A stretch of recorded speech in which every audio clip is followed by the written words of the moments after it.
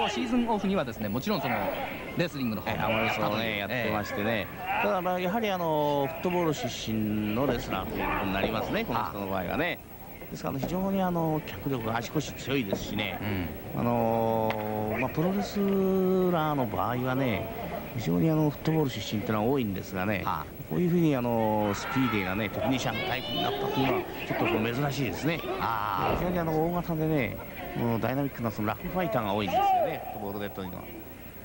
非常にこうスピードがあるこう小回りの利くそういった感じがしますね、はい。えー、まあ、このこの人もね4種類ぐらいのスープレックス持ってますしね、はい、まあ、藤波君との本格的なそのスープレックスのね打ち合いということも期待できますね。スライディングレッグシザーズを見せましたロンスターです、まあ、一方その藤波なんですがね実はあの、はい先週の放送までですね、まあ、帰国しまして、はい、4つまで、えー、藤波のスペシャルホールド秘密兵器をご紹介したんですが、はい、その後のですね実は第2戦、はい、第3戦その辺りで新しい技また出たそうですね。そうですね。まああの越谷大会でね、はあ、あの先輩のその山本虎鉄とね対戦しましてねこの時あのダブルアームスープレックスからねあのがっちりそのブリッジして固めるというね新しいその、まあ、なんて言いますかねダブルアームスープレックスフォークと言いますかねまあ、こういうその新しい技を見せてますね。でもこの時もその先輩のね山本哲選手がね、えー、ちょっと一瞬失神しましてね、非常にあの大きなダメージを受けたという、まあ、非常にあの日本選手の間でもね、えー、藤波のファイトというのは今日はどういう技を出すかということが注目されてますよね。うん。さあ巻き投げに来ました。ロンスターに対しまして藤波フロントからヘッドシザーズです。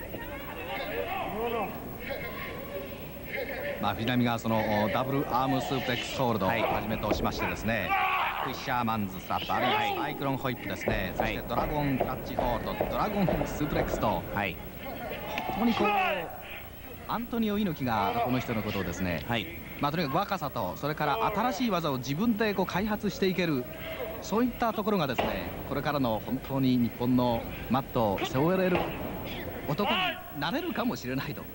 まあ、かなり厳しい言い方があるんですけれども、ね、期待をしておりました、まああのー、この人猪木はね最初からねアメリカやらずにその西ドイツヨーロッパへですね。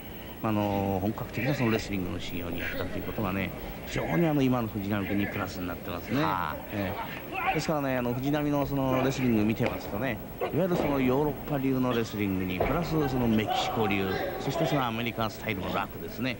こういうものがあのミックスされましてねあの藤波君独特の今までにないねその新しいそのタイプのレスラーに成長しましたね。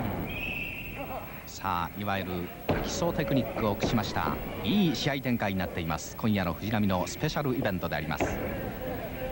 新生のロンスター藤波辰巳、腕の取り合いあっとちょっとラフに頭の毛を引っ張ってテイクダウンでありますロンスターまあ、櫻井さんあの、はい、藤波はですね。いわゆるあのジュニアヘビ。ーはい、日本ではまあ100キロ以下というウェイトになりますけれどもね、はい、このウェイトというのはもちろんマリソンスクエアガーデンでもジュニアヘビーというのは復活したタイトルなんですがおっとアマルスの技です。素晴らしいテクニック。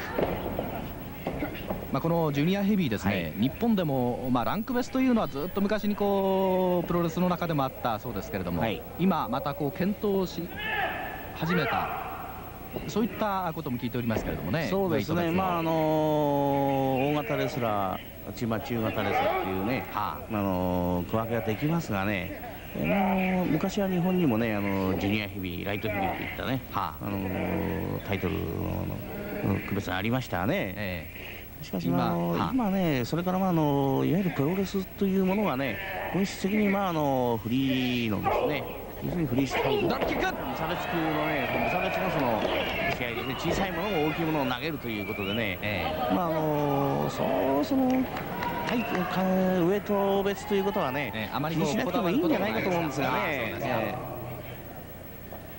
至近距離からのドロップキック。そして抑え込みましたがもちろんスタミナもあります。若いロンスターこれを返していますやはりこの藤波君がね、このウエイトでもってですね、まあそのアンドレゼ・ジャイアントと対戦してですね、えー、ジャイアントをそのドロップキックで吹っ飛ばしてみせるというのもね、これはプロレスの醍醐味ですからね。そのアンドル・ザ・ジャイアントはこの後マジソン・スクエア・ガーデンシリーズであるいはまた来日そういった噂も出るようです。そうですね。さあリング上。膝を飛ばした。あ回し蹴りですまあ、藤波君のね一つの課題はですね、まあ、ラフファイトですね喧嘩ファイトでもってですね、うん、まあ、あのどこまでその強さを見せられるかというところだと思うんですね、はい、非常にあの技の切れ味、まあ、そのそれから大き大技のですね破壊力スピードとこういうものはねもう申し分ないんですよね、はい、ちょっとラフに心配であると、そうですね。さあリング下に投げ落としました。ロンスターです。ラフファイトになりますとちょっと心配だというその藤波ですがリング下。さあどうだ？でまあこのローンスターというね今日の相手はですね非常にあの悪党としてそのね、ええ、売り出している人ですからね、うん、まあ、今日の試合注目のポイントというのはねローンスターとのそのラフな勝負ということになるんじゃないでしょうかね、はい、今度は反対側です、はい、反対側のリング下に投げ落とした。ちょっとフラフラっときた藤波。さあしかし元気に中に戻った。もう一回パンチラフの交差でありますロンスター。コーナーマットに頭を押し付ける。さあ藤波ちょっとピンチであります。3WF ジュニアヘビー級チャンピオンの藤波辰巳ちょっとピンチ。さあ藤波をパンチで返す。平手打ちだ。そしてロープに振る。ショルダースルー。だハイアングルです。キック。さあ畳みかけた藤波の攻撃が見られますか？鋭いですねこのキックはね。ロープに振る今度はロンスターショルダーブロック。しかしダウンしたのはロンスターです。フットボールで鍛えているロンスターが吹っ飛んだ。あーっと今度は2位です。膝が待ち受けたそしてドロップキックだ。ロンスターもやります。さあもう一度藤波自らちょっとリングした。体勢を整えます。よろよろっときました。さあ大丈夫でしょうか。エプロンサイド。リング内からパンチを繰り出したロンスター。ここでね藤波君がねそのどういうそのねあの逆襲を見せるかですね、えー、それに注目したいですね。エプロンさあパンチは返した。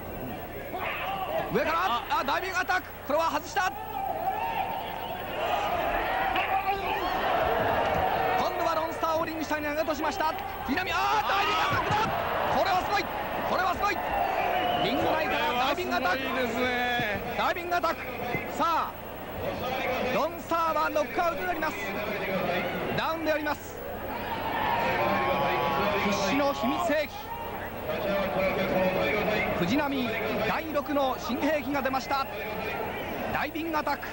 それもリング内からのものすごいダイビングアタックが出ました。ロンスターようやくリング内に戻る。こういうそのプレーを見せる姿なかったですね。さあ後ろに回った。さあドラゴンローリングドラゴンスープレックスですが決まりました。これはスリーカウントホールというよりも完全にダウンであります。アウトですね。非常にアウトですね。引きつけてね、ええ、後頭部を打って失神させたようですよこれ。はい。ちょっとね動けませんねこれは。気流がためであります。